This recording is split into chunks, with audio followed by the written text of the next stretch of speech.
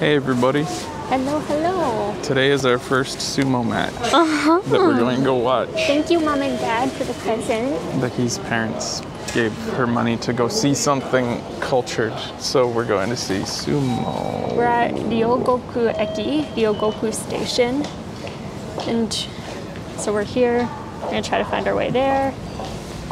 We might not, we're probably not going to show you sumo today, but this is a video of us finding or exploring the station today. Yeah. The first time seeing this station. All right. Becky's going to lead the way as she. Do you have a general idea of where we're going? Or Well, the train line is here, so over there. we are. Um, so this Becky tells me that this area is full of rikishi, Culture? Yeah. full of sumo guys. Sumo wrestlers are all over it. I kind of want to just like take a peek at that one street Okay. because that's sort of where like Yeah, just wander. restaurants and stuff are. Maybe we can peek and check. It's a very old neighborhood.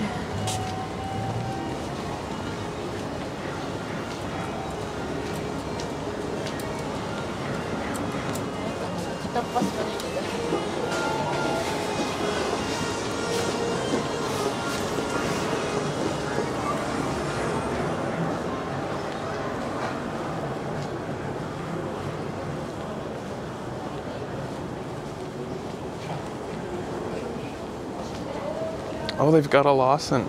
they Sure do.